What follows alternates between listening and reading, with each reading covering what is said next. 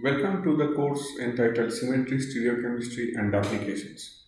In the last few lectures, we have discussed about the substitution reactions and stereochemical aspects of SN1 and SN2 reactions.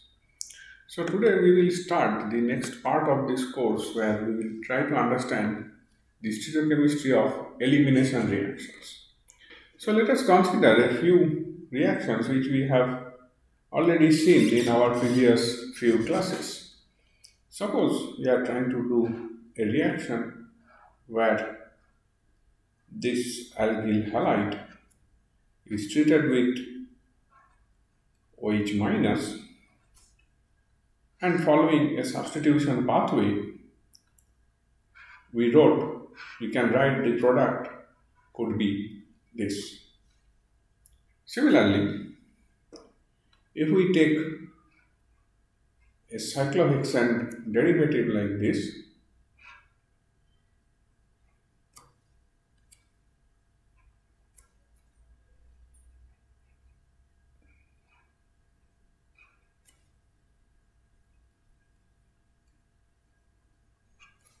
and do the same treatment OH minus in say ethanol very easily you will be able to write that the product would be a substitution product and which may be SN2 which would mean that the OH would come from the top and form this product. Now the question is, does the reaction is so simple? Does it happen in such a simple way? So these reactions are not so simple. Always, uh, with any substitution reaction, we must consider the possibility of competing elimination reactions. In the examples above, the nucleophile can attack the electrophilic site to give the substitution product as they are uh, giving, or they can act as base by giving the elimination product. So what is the elimination product you may think of? What we may think of in this case is that this molecule has two hydrogens on two adjacent carbon atoms. So this OH minus can abstract the proton and Br minus can get removed and we may form an alkene like this or the OH minus can attack the other proton, a double bond may form there and we may end up getting a product like that. Similarly, in this case, if the OH minus attacks this proton and this bond, double bond forms and the bromine is eliminated, you will get a product which would be this one.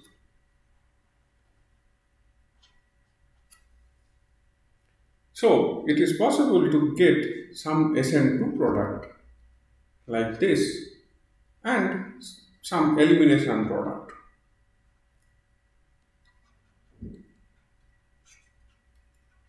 in these type of reactions. So we need to see what are the factors that influence the formation of elimination products and that we will go through in next few slides. So whenever the substitution reactions are possible, we must consider whether or not elimination reactions may occur under the same conditions. So in elimination reaction, always a neutral molecule is eliminated. If you remember in the previous example that we talked about, it is HBr elimination from the substrate and it forms a double bond or a pi bond. The pi bond is formed between the two carbon atoms which has lost two elements like hydrogen and bromine. So here in this particular example what we are I am trying to show here you have OH and H. When we heat this compound in concentrated sulfuric acid we generate this alkene by elimination of water. So this H and that OH gets eliminated and a double bond is formed in between. Similarly, if we have a substrate like this, it is possible to abstract this proton by this base potassium hydroxide in presence of ethanol under heating condition and give rise to an alkene with the elimination of H and Br from the substrate. Similarly, this cyclic compound also can give a cyclic alkene in, a, in an elimination uh, reaction pathway. So as there are two major classes of substitution reactions, there are two major classes of elimination reactions as well. So the reaction which we call as E1, that means elimination reaction unimolecular, where in E1 elimination reaction only one molecule is involved in the rate determining step, that is the substrate. E2 reactions where the elimination reaction occurs where two molecules are involved in the rate determining state. So we will see these one by one. As with substitution reaction, the mechanistic pathway followed in an elimination reaction depends on a few things. The nature of the leaving group, which is important for both E1 and E2. That means the nature of the alkyl halide is important here. The stability of the carbocation for E1 mechanism where a carbocation is formed and the strength of the base for both E1 and E2. This is analogous to the strength of the nucleophile for substitution reaction. So let us first try to understand the E1 mechanism stepwise. The substrate that favor E1 reactions are the same as that of SN1 reactions. So which are the substrates that preferred SN1 reaction? The substrates which are connected to a good leaving group to a tetrahedral carbon atom and the group, the, the, the substrates which are sterically hindered are uh, favored, are favored for SN1 reaction. So a substrate that can form relatively stable carbocation favors SN1 reaction. Similarly, in E1 mechanism, a carbocation is formed and hence the stability of that carbocation determines the suitability or feasibility of E1 mechanism through uh, for that particular substrate. The difference between E1 and S1 reaction is in the type of species which reacts with the substrate. E1 reactions are favored with bases that are poor nucleophiles. Good nucleophiles will favor the substitution reaction or SN1 reaction. Remember, substitutions and elimination reactions are always, always competing. So, whenever there is a possibility of elimination and substitution reaction happening together, there will be a certain percentage of elimination product along with a certain percentage of substitution product present in your reaction mixture. So let us see the elimination reaction mechanism using a standard example. Here what we have is tertiary butyl alcohol. You see this, this molecule is sterically hindered. The backside is bulky Therefore, SN2 reaction would not go through in this particular molecule. Similarly, here this group o, what OH is not a good leaving group. So what we do is when we are treating this with sulfuric acid, it protonates the O, OH group and makes it a positively charged OH2 plus group. And now that OH2 plus group is a good leaving group. So immediately as a slow reaction process, water is eliminated and the carbocation can be written now like this. Two methyl groups are written as it is. The third methyl group is written with three hydrogens as a tetrahedral group like that. So now we have in solution the bisulfate anion which abstracts one of those hydrogen atoms and the double bond forms because the it, it takes the H plus the electron pair present on the bond is now forming the double bond and hence the product forms. But as soon as it abstracts the H plus, it transfers that proton to the water molecule that is present by proton making it H3O plus. So what we see is the elimination product is formed in this particular reaction. Why there is no substitution reaction? Because as soon as this carbocation is formed, this becomes a sterically hindered carbocation and it becomes very difficult for this bulky bisulfate anion to come here and get attached to this carbocation. Rather, it is easier to eliminate this proton and form the double bond. So, therefore, we do not have a, any substitution reaction taking place in this particular case. So, in case of this E1 reactions, we need to talk about the stereochemistry and regiochemistry. A different elimination product is possible for every unique type of beta hydrogen to the carbon atom. So, when we are talking about a particular compound which is drawn here, with respect to this OH group, the first carbon that we have here is the alpha carbon the second carbon on either side is called the beta carbon, third carbon is called gamma carbon, and fourth carbon is called the delta carbon. So, when the elimination reaction occurs, the elimination reaction can occur from this hydrogen or from that hydrogen. So, once this hydrogen is abstracted, the double bond is formed here. When the terminal hydrogen is abstracted, the double bond is formed at the terminus. And both of them are generated from this particular carbocation which is generated at the alpha carbon on which you have the OH group.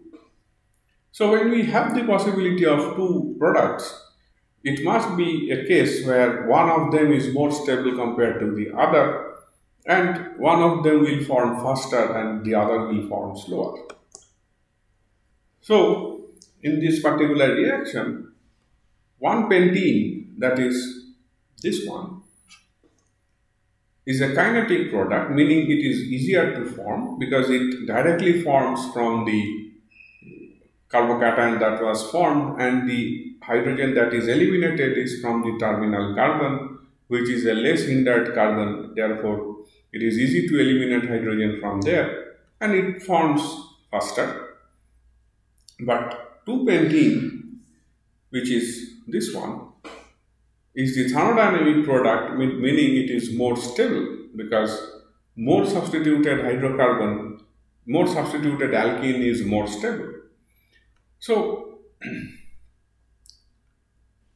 starting from one compound, we are getting two different products and one of them is kinetically controlled, the other one is thermodynamically controlled product. And this thermodynamically controlled product is more stable compared to the kinetically controlled product. Remember, the stability of these alkenes is determined by their heat of hydrogenation. Generally, the more substituted alkene, the more stable it is. So, if you try to hydrogenate this molecule to that, the energy release is 30.3 kilocalories per mole. That means this one. And when you try to hydrogenate this one, which is more substituted in the sense that it is not terminal alkene like that, it is alkene is between, in, in between the molecule. The delta H is minus 27. This is more stable compared to the terminal alkene.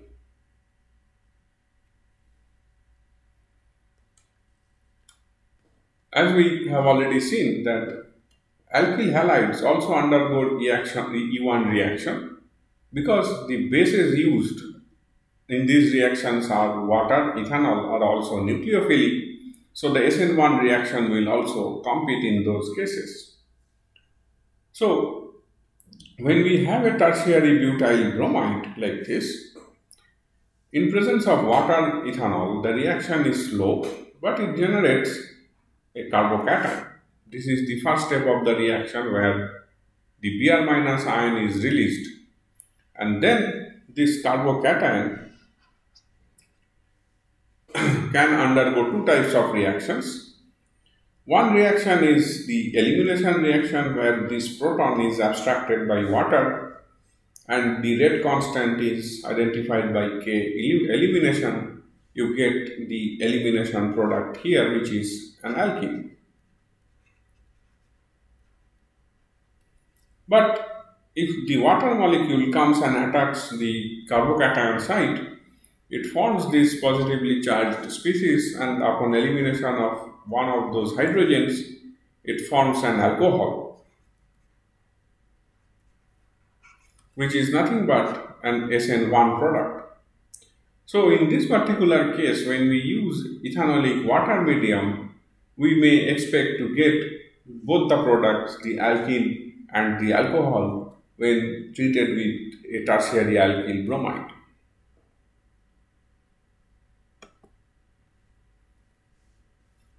Now let us try to see what are the factors that favor E2 reactions.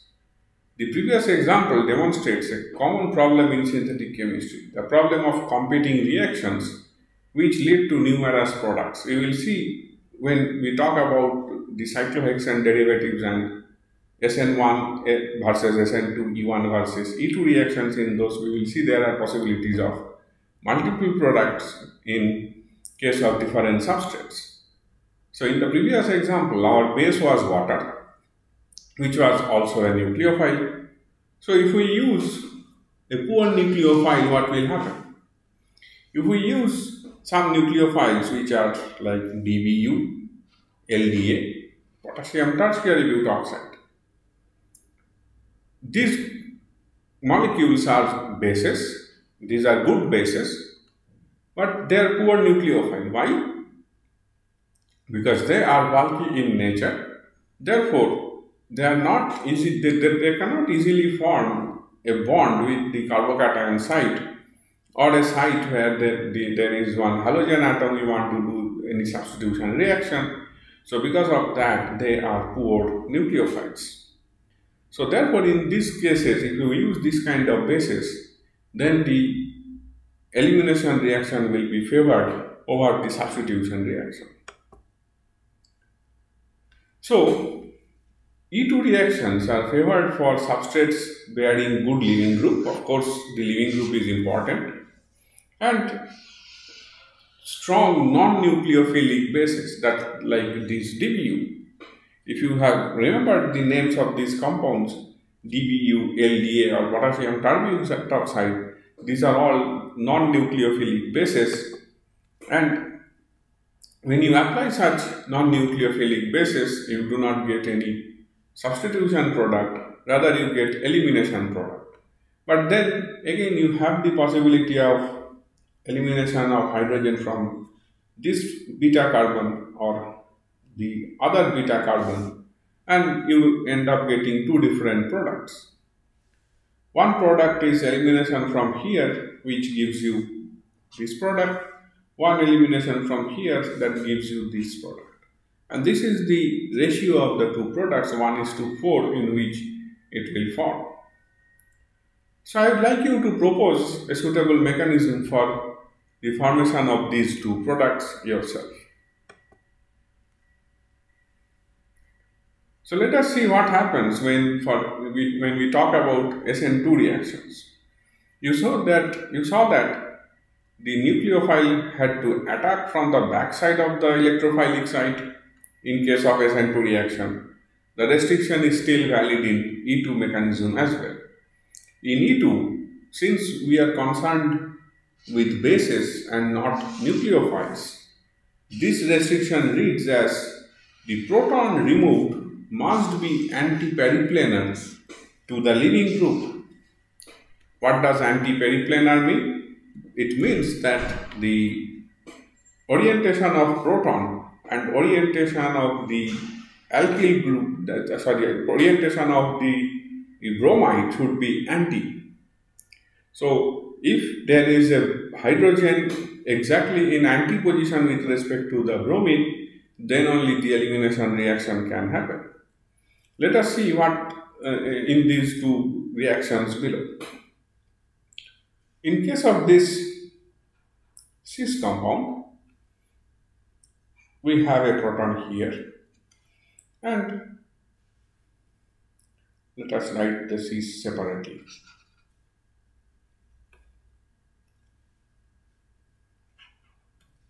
We have a proton here. So as we know that these protons which are on the beta carbon are anti to that bromine so by elimination reaction using KOH and possibly heat, if you can abstract this proton, this double bond is formed to give you this product or this double bond is formed to give you the second product. But if this is trans, then you have the hydrogen which is here. Therefore, this hydrogen and that bromine are not anti they are on the same side of the CC bond. So the only anti-hydrogen is present here. So this anti-hydrogen is eliminated to give you a single product. So therefore, in this particular case, the E2 reaction gives you only one elimination product. In case of E2 reaction, here we have drawn a molecule in the sawhorse projection with the wedge projection rather not sawhorse. We have drawn the molecule in wedge projection and it, uh, the hydrogen here is in antiposition. So OH minus abstracts this proton. This bonded electron forms the corresponding double bond and Br minus is eliminated as the anion and you get the alkene that you have. So the beta proton is pulled off by the base and must be at anti-periplanar orientation as you can see here in the orbital diagram. So this reaction is referred to as a beta elimination reaction. Okay. So similar reactions we can talk about where we have a compound. You can see here that the bromine and hydrogen are anti. These two phenyl groups are on one side of the CC bond and the methyl and hydrogen are on the other side of the CC bond. So when you use a base for any elimination reaction on this substrate, you always get a product which is which is both the more prior groups on one side, so it is the E isomer. Whereas if the substrate was such that where the phenyl rings were on the opposite side of the CC bond and methyl and hydrogen were on opposite side, the elimination reaction takes up the proton and forms the corresponding Z isomer. So this elimination reaction can specifically produce either E or Z isomer depending on the substrate that we are using because this always goes through a beta elimination and the elimination occurs in an anti-periplanar arrangement. So what happened in this reaction is that generated two different diastereomers, a pair of diastereomers from two different starting materials. So this type of reaction is also known as a stereospecific reaction. We will have a few classes on this uh, stereospecific, stereoselective, regiospecific and regioselective reactions at a later stage of this course. Now I am going to ask you a question. This stereospecific elimination reaction only occur for E2 and not for E1 mechanism. Can you explain that? It is your responsibility to think about it, go to the textbook and find out the answer to this question. Why in E1 reaction you do not see any stereospecificity?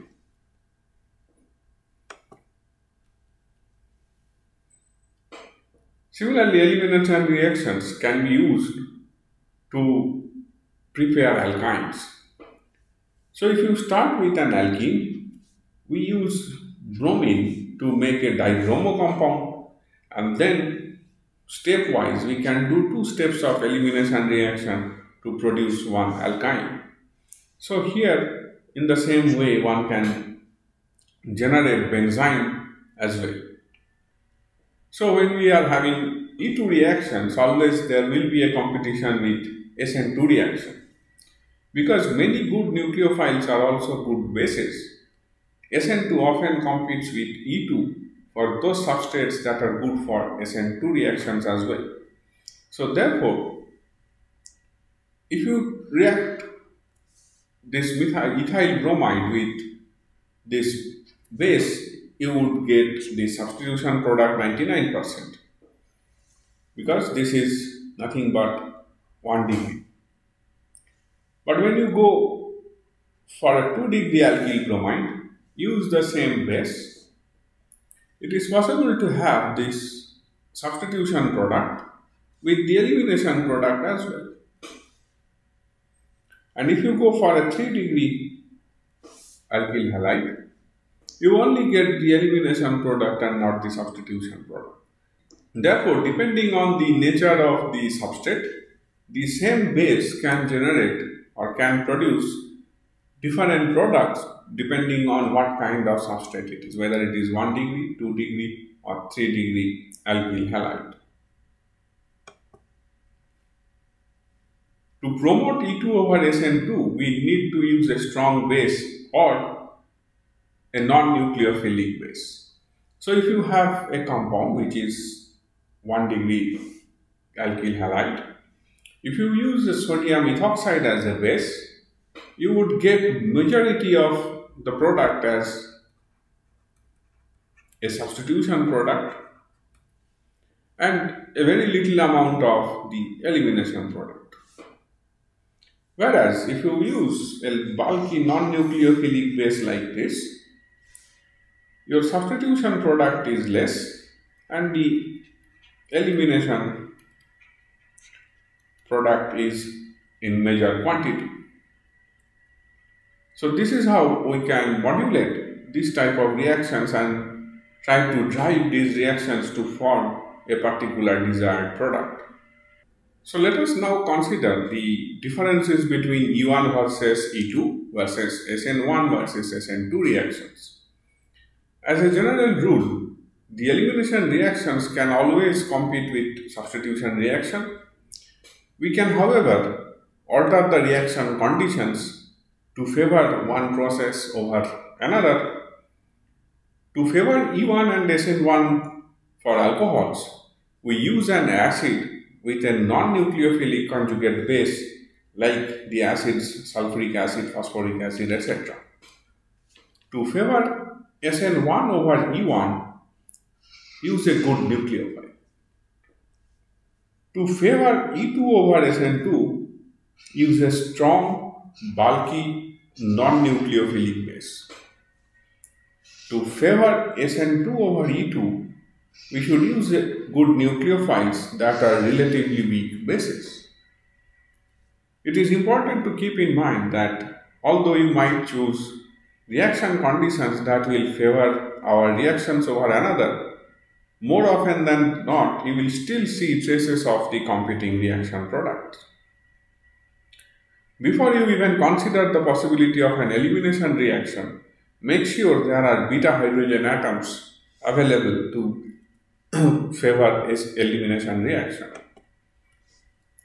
So in a, a tabular form, if we summarize these to a eh, four different reaction mechanisms SN1, SN2, E1 and E2, we can make a very nice table as I have done here. When we talk about SN1 reaction, The mechanism has two or more steps involving the carbocation as intermediate. It is a first order kinetics. It favors those substrates that form stable carbocations, that is 3 degree al uh, alkyl halides, allylic or benzylic halides will favor SN1 reaction. Stereochemistry indicates the racemization because it goes through carbocation formation. Therefore, the substitution product can be formed from the either side of the carbocation as a result you may get a racemic mixture. Importance of base or nucleophile it is not involved in the rate determining step because the rate determining step is the bond breaking step but less basic form of nucleophile will limit to E2. Importance of leaving group. It is very much important because it is involved in the rate determining step. So it is very important. SN1 always competes with E1 and E2 reaction. And for solvent, we already have seen that polar protic solvents like ethanol, methanol, water are best solvent for SN1 reaction. On the other hand, the SN2 reaction, it is a one-step process. It is a second order kinetics and first order in substrate and nucleophile. Those substrates that are uncluttered at the reaction site, that is 1 or 2, they are good nucleophiles.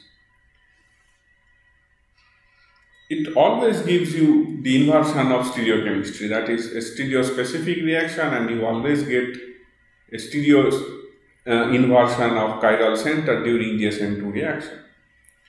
The reactivity of nucleophile is important since it is involved in the rate determining state because the nucleophile attacks the carbon and the removal of halide happens simultaneously. Leaving group is also important because it is involved in the rate determining step. It competes with E2 when basic nucleophiles are employed.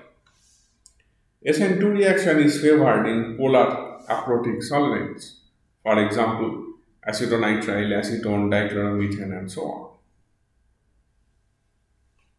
When we go to E1 reaction, two or more steps involving carbocation as intermediate.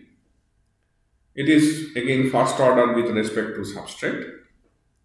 Those substrates that form stable carbocations that is 3 degree, allylic or benzylic, those kind of alkyl halides favor, favor E1 reaction.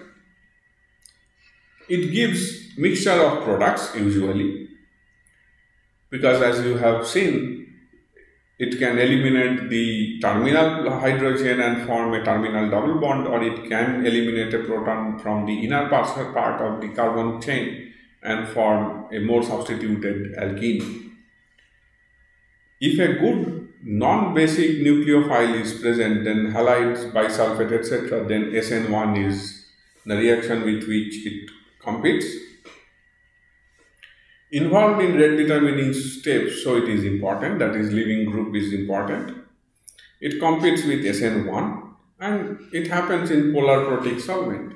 So if you note that the solvent choice is similar for SN1 and E1 and that is why they always compete. In case of E2 reaction, the first step is a bimolecular process just like SN2 it is a second order reaction and first order with respect to both substrate and the base. It, it requires strong base and any substrate with a beta proton is very important for this elimination reaction. This reaction is stereospecific involving the anti-periplanar relationship of the beta proton and the leaving group. So this stereochemistry is absolutely important in E2 elimination reaction. Once again, the leaving group is very important because it is involved in the rate determining step. Since these conditions are very similar to SN2 reaction, E2 always competes, competes with SN2. but the choice of solvent varies for various E2 reactions depending on what the substrate that you are using.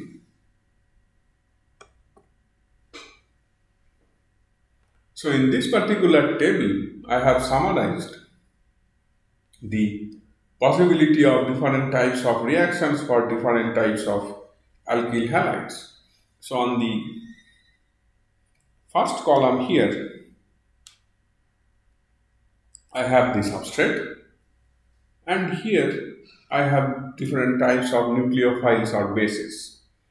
So this chart is giving you an overview which combination gives you what kind of reaction product. So this chart will be very important for you to understand the reaction mechanism or to predict the products for various substrates that you may encounter in this course. So I would like you to go through this table very carefully and understand the basics along with what I have discussed in last couple of few lectures.